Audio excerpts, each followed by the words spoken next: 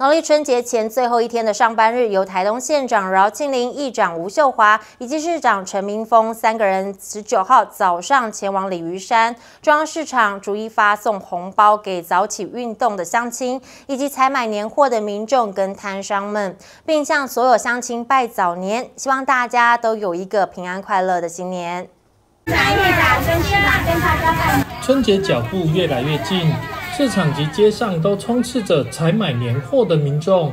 县长、议长及市长在春节前最后一个上班日早上，到鲤鱼山及中央市场等地方发送红包，向乡亲来拜年。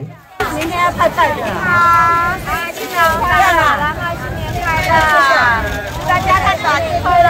你好，这是今天的价嘛？昨天不是新年，新年快乐，新五百七十五百五。来，姐，来，李吴秀华，一掌吴秀华，大家好，来，看我拜年。好，谢谢，好，加油，新年快乐，新年快乐。泡啊，高脚泡啊，啊，你快，打不下去，下去，来。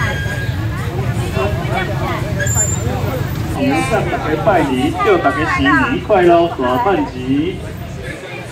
新年快乐，新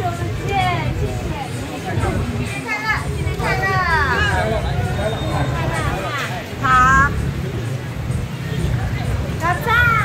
各位乡亲，各位头家，新年快乐！新年呢？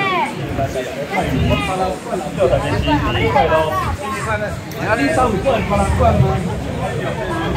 没有拿到红包的，记得赶快过来拿红包。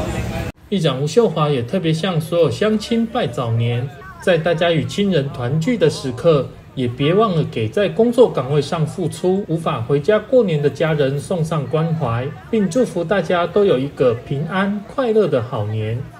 记者潘俊伟台东市报道。